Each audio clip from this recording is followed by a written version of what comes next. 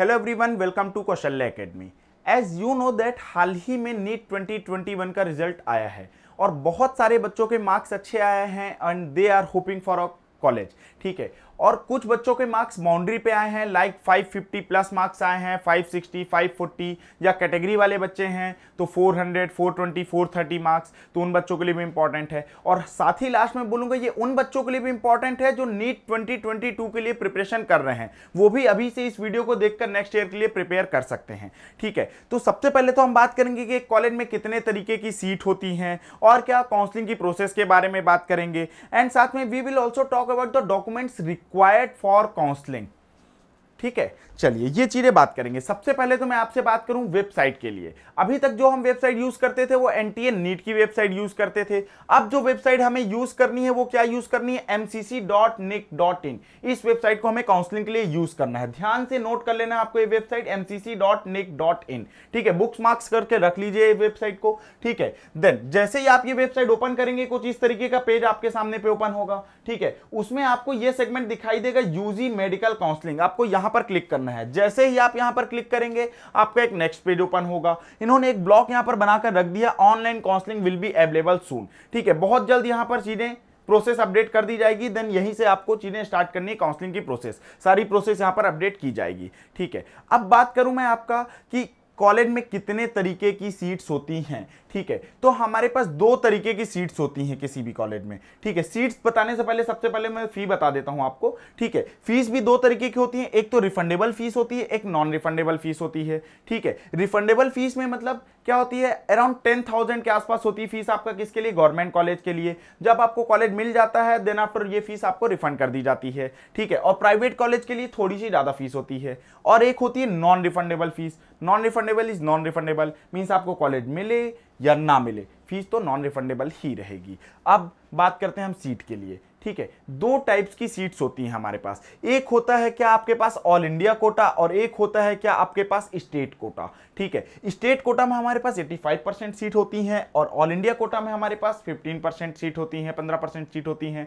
Means मान लीजिए जैसे 100 सीट है किसी कॉलेज में तो उसमें 15 सीट ऑल इंडिया कोटा के राउंड से भरी जाएँगी और 85 सीट किसके भरी जाएँगी? आपका स्टेट कोटा से भरी जाएँगी। मीन्स आपके पास जिस स्टेट का डोमिसाइल है, ठीक है, ये तो थी कुछ सीट वाली बात। ठीक है अब बात करता हूँ स्टेप काउंसलिंग के लिए कैसे होते हैं। सबसे पहला स्टेप क्या होता है? ऑल इंडिया काउंसलिंग ठीक है? State counselling then all India counselling इसमें भी एक्चुअल में राउंड्स होते हैं एक्चुअल में। ऑल इंडिया काउंसलिंग के लिए भी दो राउंड्स होते हैं एंड स्टेट काउंसलिंग के लिए भी दो राउंड्स होते हैं। देन स्टेट काउंसलिंग के बाद एक मॉपअप राउंड भी होता है।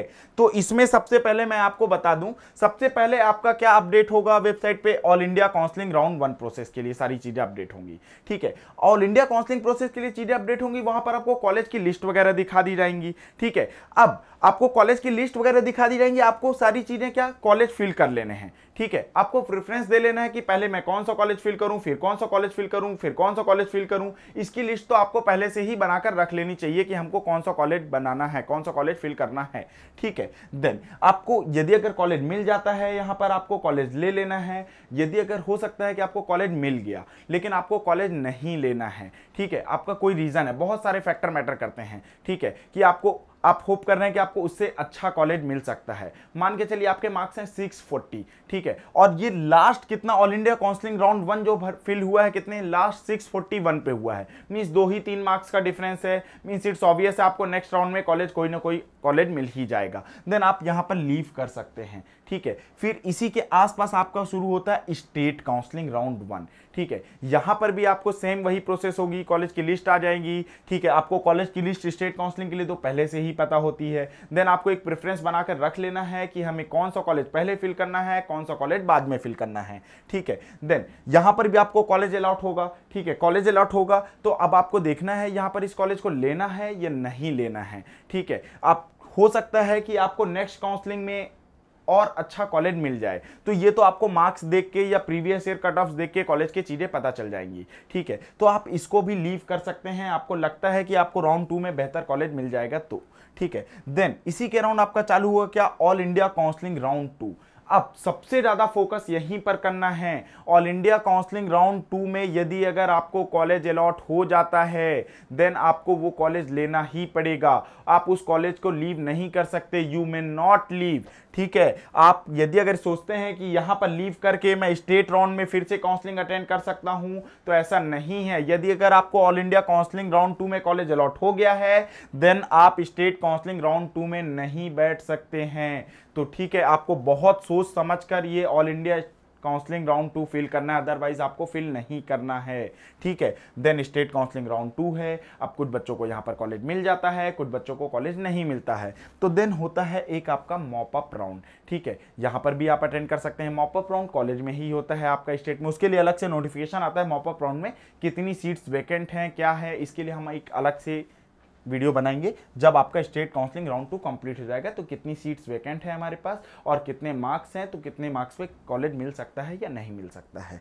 ठीक है? चलिए। देन बात आती है next all about documents required सबसे मेन बात यह है, काउंसलिंग के समय आपको क्या क्या डॉक्यूमेंट्स अपने साथ में रखने हैं। सबसे पहले तो रखना है आपको नीट अलॉटमेंट लेटर जो अभी अभी जस्ट आपने डाउनलोड किया होगा। नीट एडमिट कार्ड फिर रखना है कि आपको रैंक लेटर एक मिलेगा आपको।